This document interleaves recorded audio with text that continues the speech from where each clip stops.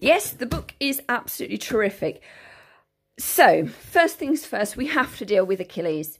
He is the main character, and he does get a couple of lines in the book.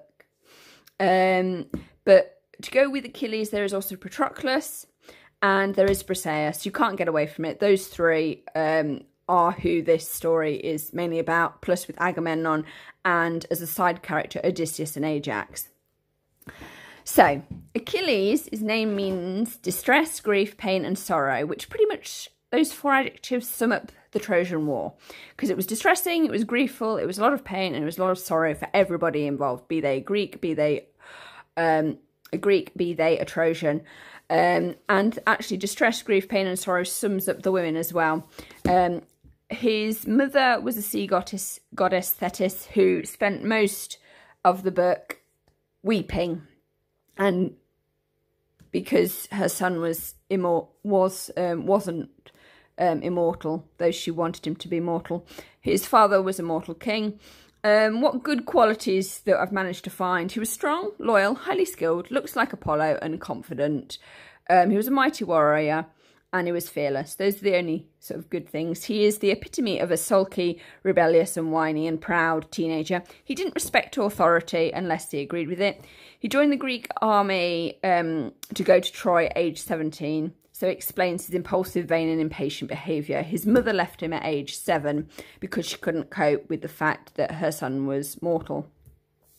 So Achilles is pretty much of a basket case, really uh, a rebel and he's very proud. So, yeah. Yes, and he still gets his own mind map. Even though it's Briseis' book. But it's not Briseis' book because wonderfully Pat Barker has used um, Briseis to describe everyone. Everybody gets a write-up here, both bad and good, and she explains them in the most human way possible. She really rehumanitizes everybody. Um, stunning, deeply humane, compulsively readable. And that's very, very true. That's actually, it, it is. I particularly like, there's one chapter where Briseis talks about how all the young men died and what killed them. And then Briseis also talks about the women who are the mothers of these sons that died. Um, they talk about how they were as small children and she also, uh, Briseis also mentions, like, when she goes back to Greece after it all, she says, oh, I keep bumping into all these Trojan women with their half Trojan, half Greek children um, by their Greek masters. And she's saying, that's so-and-so from so-and-so, that's so-and-so from there, that's that. And she knows that they remember their Trojan children, because obviously um, when a Greek army, when, when you sack a city, you kill all of the boys, you kill all of the babies, um, if they're boys. You kill all of the pregnant women just in case they're carrying a boy. And you capture other women and you take them back um, as slaves because that's what you do in the 18th. In the 18th? In the 8th century BC. There you go. So, yeah, it is really, really good. Really, really humane. Patroclus actually comes off as the best character in this book if you're looking for, like, somebody with morals Patroclus would be your go-to guy. Odysseus um, is an interesting, slippery, wily, cunning character. Agamemnon is basically the template for um, Game of Thrones' Mad King. Um, burn them all, burn them all. Yes, um, this is where he got him from.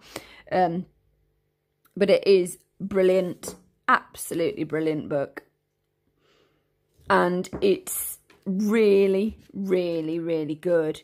She describes everything from rats to maggots to worms to the medical tent to what it was like underneath the huts, in the huts, what it was like to be in the Greek camp. You really feel like you're there. Her use of adjectives and descriptive language is brilliant. It really, really is a good book. Um, she brings it all to life. Obviously, you don't get the battles, but you don't need the battles. The battles aren't why we're here. Though when she does describe their deaths, it's usually with like clinging on to their ripped out intestines. So you do get a lot of gore. But I mean, hello, this is the 8th century BC. So what else do you expect? When the Greek queen Helen is kidnapped by Trojans, yes, Helen is in this and you do um, uh, read about her. Uh, the Greeks sail in pursuit, besiege the city of Troy, trapped in the Greek soldiers' camp as another captured queen, Briseis. Condemned to be bed slave to Achilles, the man who butchered her family, she becomes a pawn in a menacing game between boredom and frustrated warriors. In the centuries after this most famous war, history will write her off, a footnote in a bloody story scripted by vengeful men. But Briseis is a very different tale to tell, and she does. She really does flesh out the war. She explains everybody. We even get a better understanding of Agamemnon, of all people.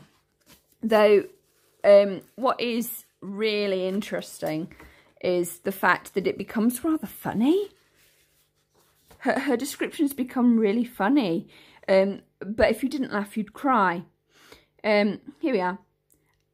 It's when Agamemnon chooses Cassandra um, as his prize. God knows why. Perhaps he felt he hadn't offended Apollo enough. So yeah, it, it, it is. She does have this sarky, sassy way about her. And you can see why Achilles actually in the end referred to her as his wife. And he liked it because she was sassy. Even though she was silent for most of the time, she let um, the fact be known that she was not happy. She was here under sufferance. And there was a lot of sass. It's brilliant book. It's split into three parts. Um,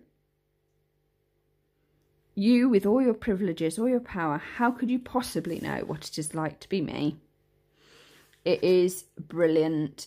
Um, her work becomes really important to her because she ends up working in a medical hut at one point because there's a plague, and Apollo is a is the god of the is god of plagues as well as literature and the sun and everything else pretty much. But it is a really, really good, gripping story. You feel for everybody within this. It brings it to life in such a new way um, that you think that why on earth did we take over a thousand years to get it written from a female's perspective? It's wonderful. Though at times it does, um, you do feel that you'd like it from Patroclus' perspective. I know that there's books out there like The Song of Achilles but I'm not sure whether you actually hear Patroclus' voice. In this, you actually spend a lot of time in Briseis' mind um, and her thoughts about things. It is just brilliant. Really, really good. And Achilles is the only character that I've sort of done a mind map for because if you don't understand Achilles, you really don't understand this book. And I know a lot of people like start looking up to him now as a mighty warrior and everything and want to copy and emulate him. But really, you do not want to be distressed. You don't want the grief and you don't want the pain and you don't want the sorrow that he had, to be absolutely honest. And you don't want the whining and the sulking. I mean, he couldn't escape his fate. Did he try? No, he just whined and sulked. And drank a lot of wine. Um, so she doesn't back away. She doesn't shy away from anything. It's all covered here it is really, really good. You could see that this is the way it was going to be and they're at war. You have to get into the mindset of what it was like to live in the 8th century BC. Or, because, yeah. But it, it, it it's stunning. Absolutely stunning. Um, and it's so short as well. Her use of prose, her efficiency with her prose is just brilliant. It's not over padded. Every word has meaning. It's just brilliant. Um, and she she really does an excellent comparison when um, Priam, old King Priam, comes to see um, Achilles to get the body of Hector back. He says, "No father has um, done what I'm doing, which is to kiss the person, kiss the hands of the person that killed them." And then Briseis, um, in her head, fires back, um, yes, so I'm going to do what loads of women have had to do in my position, open their legs for the person who killed their their family and um, everybody that they knew. So it really is a sassy novel. Um, it is um, somewhat shocking, but I mean, it's the Iliad, people. It is going to be shocking. They murder babies in this book. Babies are murdered in this book if you don't want to read a book about baby murder, about basically living in a rape camp, because that's what it was, you know, I mean, the only thing that you possibly might be confused about, like, why do they continue, like, weaving on their looms. But then again, if they didn't weave on their looms, there wouldn't be any blankets for anybody. So come on now. So things like that, it is a good story. But that doesn't mean the story is about good people. It just means it's a crackingly humane read. And it's all over. Somebody stole my wife. Which is basically what it is, because Helen got stolen by Paris. And then um, Agamemnon steals Briseis from Achilles, and then Achilles gets the hump and just sulks. And they nearly lose the war. So it is an incredibly good book. You get the voices of everybody, everybody's in it. You really do get a balanced perspective. You find out what happens to the men, you find out what happens to the ladies, you find out what happens to everybody within this novel. It is absolutely stunning and it is well written, and I recommend it to everybody. It's brilliant. Absolutely brilliant. And it really does bring the place of women to life because the main reason that he sulked when Briseis was taken from him wasn't because he loved her or felt anything like that. Oh no, it was the fact that the army had given him this girl as his prize for being Achilles and Agamemnon had taken her away from him, which meant that Achilles as a warrior, as a leader of men, had lost face. That's why he sulked in a tent and cried. But then again, Alexander the Great sulked in a tent and cried because he modelled himself after Achilles and Hephaestus. Um, yeah. And Hephaestus, yeah, can't even say it now. Hephaestion um, modelled himself after Patroclus. So, I mean, whoop-de-doodly doodly do. Just so you know. So it is a hugely influential book. Without this book, there would be no Alexander the Great, there would be no Hephaestion, there would be no art, no culture, no Harry Potter. It is that important a book. Well, a poem. And the fact that it's still inspiring literature to this day just shows how important a story it is. It's not a happy story. It's about distress, grief, pain, and sorrow, because that's what Achilles' name's mean, name means in Greek. And I mean, life is about distress, grief, pain, and sorrow, and how humans cope with it. It's such a human story, told in the most brutal and vicious way ever.